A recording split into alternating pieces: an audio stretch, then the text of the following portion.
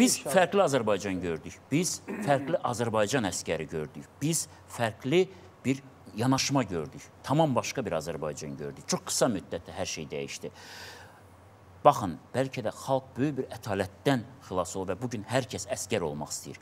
Hər kəs önə çıxmaq istəyir. Qələbə xəbərini birinci çatdırmaq istəyir və hər kəs o qələbəni yaxınlaşdırmaq istəyir. Bunu ölkə başçısı bacardı.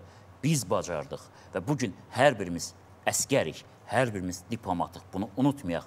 Qarabağ bizi gözləyir. Azərbaycanın ərazi bütövlüyünü bərpa eləmək bizim haqqımızdır və üzərimizə düşən böyük bir vəzifədir. Biz bu vəzifəni yerinə yetirəcəyik.